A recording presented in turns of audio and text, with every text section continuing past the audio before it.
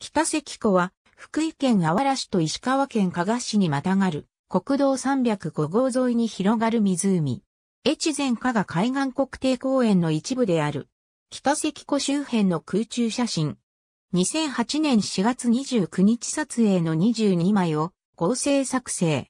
国土交通省国土地理院地図、空中写真閲覧サービスの空中写真をもとに作成。湖面の約99%が福井県に属し、同県では三方五湖の水月湖、三方湖に次いで3番目に大きい。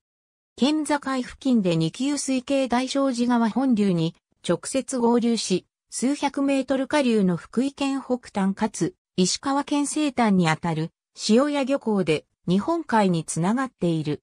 日本海との水位差があまりないため海水が流れ込みやすい。約2万年ほど前に、下越大地が侵食してできた谷に、約6000年前、水が溜まり形成された。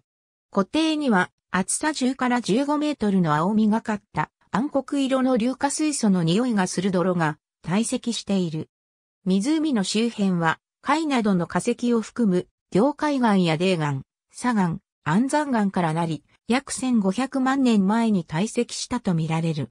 その上には、厚さ30から50メートルの砂層があり、数万年前の表記に堆積したと考えられている。